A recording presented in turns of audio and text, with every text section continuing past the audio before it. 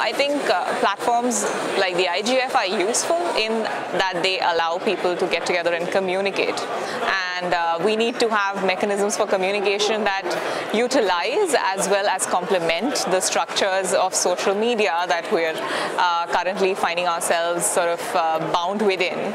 Um, and we need to organize and uh, find uh, lines of, you know, find find the, the lines where we can we can cooperate and get together and uh, um, essentially going back to the principles that have existed for organization before we have to you know uh, find the places that we are we are uh, we are at the same mind on and cooperate and communicate. That's uh, uh, pretty much it. We have more in common across the world than we do to divide us. And um, we have to go back and remember these, uh, you know, these, these basic principles of uh, uh, human unity.